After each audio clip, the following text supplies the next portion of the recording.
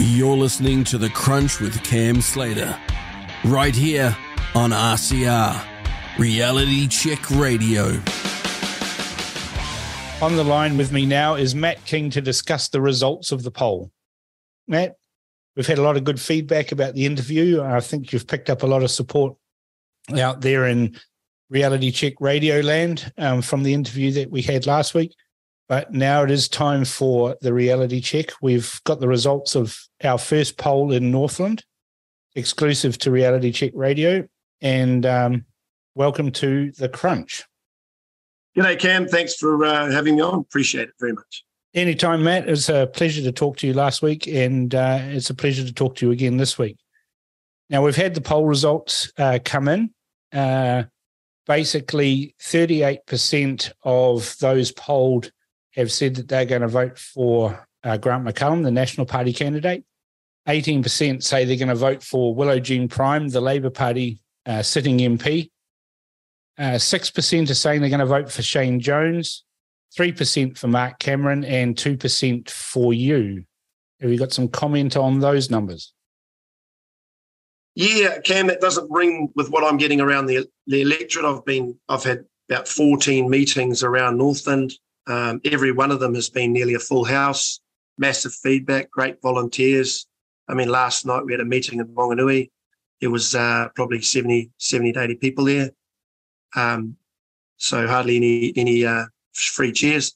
And uh, feedback's been really positive. So that, that really surprises me. I well, know it's, that it's just a yes. stake in the ground, I guess. We, you know, nobody's done a poll there before, so that's why we thought we'd do a poll to put a stake in the ground, and now we can measure progress for the uh, 81 day, 80 odd days that are left in the campaign. Uh, it, you know, you, you, said last week that you were knocking on a lot of doors. Um, it looks like you need to knock on a lot more. Look, yeah, I, I get that. I, I, mean, what I've got to try and get past is that that the um, the major parties are, are got have got all their people out there saying um, that it's a wasted vote or, or, or we're splitting the vote and we'll let Labor back in and and that's um, you know 30 years of MMP. People are still thinking with uh, first past the post thinking. Um, yeah, it's a good point. It's a really good point you raised, but you've now got um, an empirical poll, um, you know, that you can point to people and say, well, actually, we're not splitting the vote here. There isn't any vote splitting. I mean, the the the poll showed that there was 30% uncommitted, that they were unsure of who they would vote for as their candidate. Now, that's a lot of votes that are up for grabs, but you need to grab all of those in order to to get past Grant McCallum. Or Grant McCallum has, uh, you know, uh, an embarrassing news story or something goes wrong in Northland with Christopher Luxon and, and something happens there. But there's still 30% of respondents in this poll were saying we don't know and we're we're what is it, we eleven weeks out from the election. Yeah, well, um, what we've got too is that when I when I talk to people and I explain the situation where, you know, in Northland they can party vote for who the party they want, and they can candidate vote for the candidate they want, and that if they party vote for the party that they want, which is um, trying to get Labor out, which everyone's really scared about um, Labor getting back in, they can. There's no downside or no risk to to candidate voting myself um, because I'm more likely to bring some of the um, some of the undecided vote from around the country in as as um, as list MPs with me and make up the balance of power. So and get a, and ensure that we get this government out. So I've been going around um, everywhere I can and as much as I can, uh, passing that message on to people. And every conversation I have where I talk to them about that, and it's you know it is hard going because you've got to get so around so many people. Um, they understand that they rec- recognise that it's a strategic vote in Northland um, as I described last time, Cam, it's not a red blue horse race. So uh, that's that's where I'm at, and I've obviously got a massive job ahead of me. But um, that, that's what that's my job. I've got to do for the next eighty odd days. But you always knew that you had a massive job ahead of you, and that that this electorate uh, gives you an opportunity.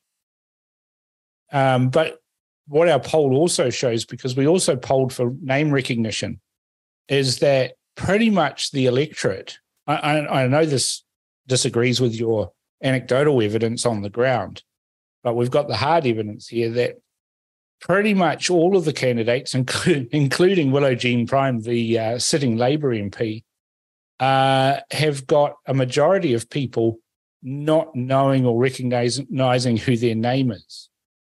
And uh, that's that's the biggest challenge to get your name out there. That, hey, Matt King is standing again, and um, and vote for me. Yeah, well, we don't get any. Um, we've had zero mainstream media coverage.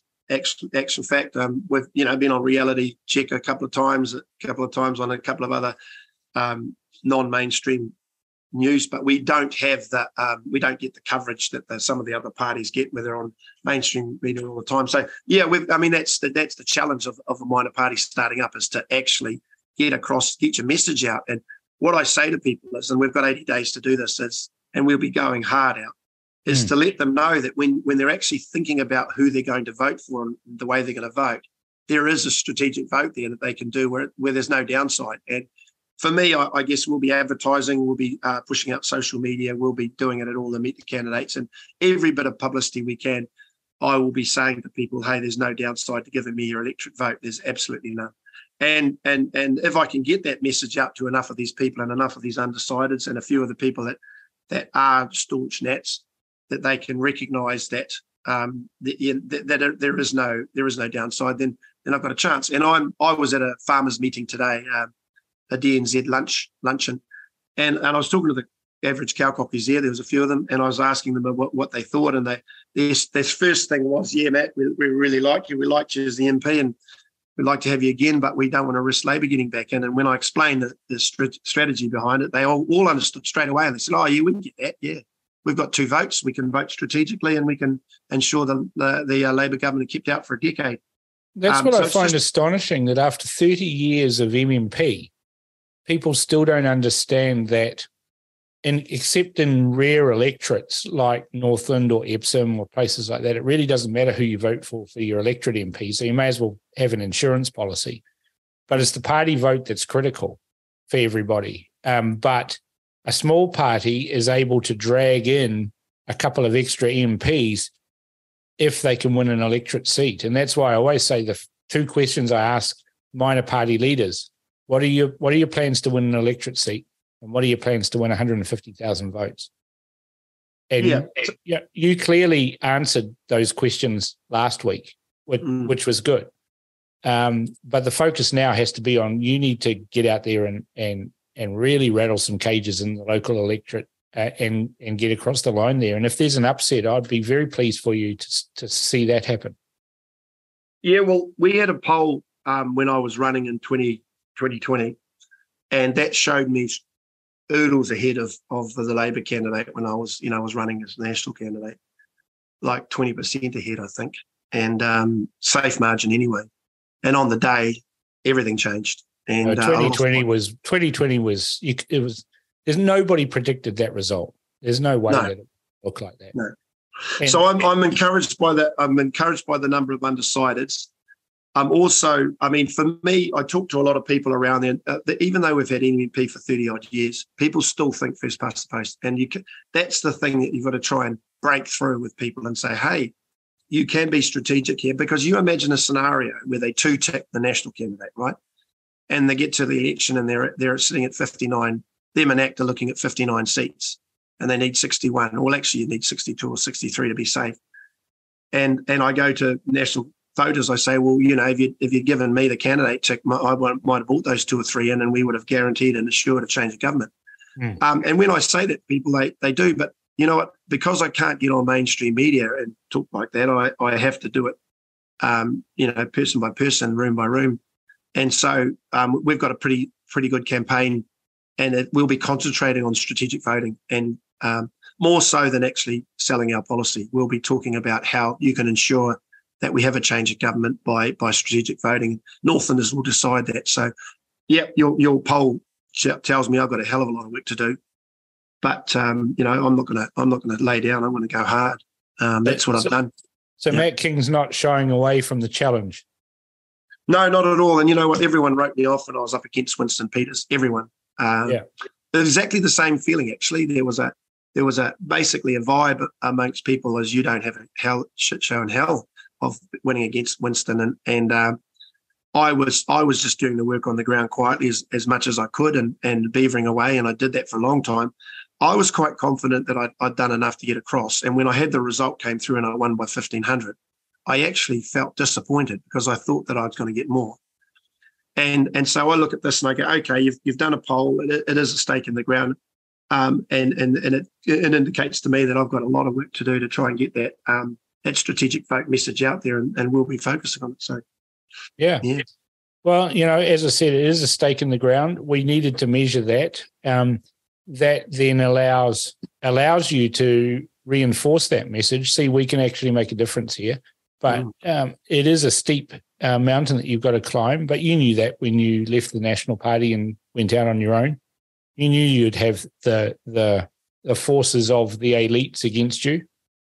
Yeah, well, Cam, I what I did was, I mean, I could have I could have been um, if I'd been un- unprincipled, I could have just sat on and in the blue in the blue uniform and and and rode rode ride you know rode the chariot through onto the next election. And I, but I know in my own self, my principles were um, challenged by this whole thing, and I, regardless of the outcome of this election, I did the right thing, and, and I can sleep well at night. I I felt so strongly when the mandates came out that I have to do something for my family, for my community, for my country, and that's why I went out on this. Um, you know what we've started and created a party and um, you know, regardless of the outcome, I'm I'm very happy with the decision I made, and I sleep well at night. And I'll look back on these times and go, um, you know, I, I'm on the right side of history, and I'm very comfortable with that. So, yeah, hey, look, this is this is this is a, not a good poll result, but I tell you what, we've got 80 days to go. So, I'd love to be talking to you at the election and say you you be congratulating me from from coming from behind and and and pulling off the win of the century. So. Well, look, I'd like nothing better than to talk to you the day after the election and that you're the new MP for Northland, and there'd be a whole lot of people out there um, who will be cheering you on. And, um, you know, I've been critical of you in the past, but one thing I can't criticize you for is the heart that you're showing in the campaign and and the fight that you're taking uh, to the campaign. And, uh, you know, that's all that we can ask of people who put their name forward for public office, that they do their best and they do as much as they can uh, to try and get elected. And it's it's a really hard job standing for parliament. It's a really hard job standing for public office. Mm. And um, people don't. I don't think people understand just how hard it is. Uh, and, and when you see raw numbers like this, it can be disheartening. But the ones that succeed are the ones that pick themselves up and and carry on and press on regardless. And uh, you know, I wish you all the best in the campaign, and no doubt we'll talk several times more before the election. Hey, I, I um, I'm, I'm, a bit concerned about the new Cam Slater. This um, being nice to me, it's like uh, it's really, it's kind of a little bit unnerving. but yeah, I appreciate it too, Cam. I, I've, I've had a few comments from uh, mates saying, "Who's this? Who's this Cam? What happened to old Cam?" I said, "Well, old Cam's dead. yeah. Old Cam died uh, when I had a stroke, and this is new Cam, and this is the, really the first outing that people have." Are seeing now the new Cam, and so thank you very much for that comment. Uh, I appreciate it. Uh, Thanks, you know, Tim. Okay, yep. mate. Thank you very much, Matt, and all the best for the election campaign. We'll talk again. You're a good man. Thanks, Cam. Appreciate okay. it. No worries. See ya. This is The Crunch with Cam Slater. Conversations with a side of controversy right here on RCR.